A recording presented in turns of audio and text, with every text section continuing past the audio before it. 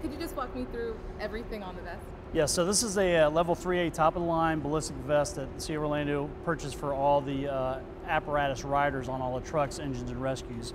Basically, it's set up for uh, bleeding control is on the outside, and the center pocket is for airway. This other additional pouch is for a radio if we need to use that to communicate.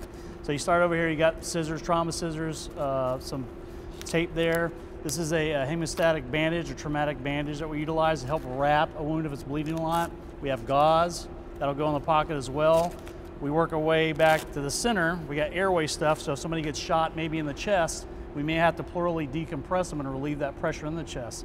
So this is a rec recommended size needle for that. And then we have a chest seal device which would cover the hole so air doesn't seep out once we do that if there's a wound that's uh, caused a through and through gunshot wound in the chest. You get back over here on the other side, and there's more bleeding control, specifically the CAT 2 bandage uh, tourniquet that we utilize. We'll basically put down the wound as high as we can get it, high and tight is our recommendation, and it'll stop the bleeding because most bleeding, if it's heavy enough, within three minutes somebody can die. So it's uh, critical that we get that on as soon as we can. And, and use in conjunction the other bandages, or this other little roll here is called QuikClot, which is actually a hemostatic agent. If we have a wound that we can actually push this into, it'll actually clot the blood even quicker and stop the bleeding.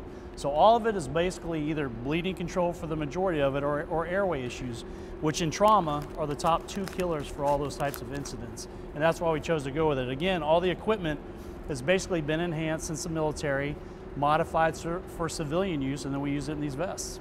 And so having it like this, they're able to be protected, but then also quickly access. Exactly. The personnel are protected when they go into these scenes, and they're able to quickly deal with the most common injuries that could kill somebody uh, in a quick manner, and they can work right out of these pockets. Now that's not on top of if we take our regular, uh, if we take our first aid equipment BLS bag, but we're utilizing this for basically scenes of violence for the most part. And if we have an active shooter scenario, we'll team up with the OPD, a security force. We'll go in and help treat victims there and extricate them from that uh, environment. What we call that is a warm zone. Uh, basically, it's where the shooter may be in the building, but he's not able to get a clean shot off in the direction of our personnel. So we feel comfortable manning them with uh, this proper equipment and giving them the gear to take in there to deal with people, the tools. They're going to be able to hopefully treat somebody and get them out of that building so we can get them to the hospital even quicker.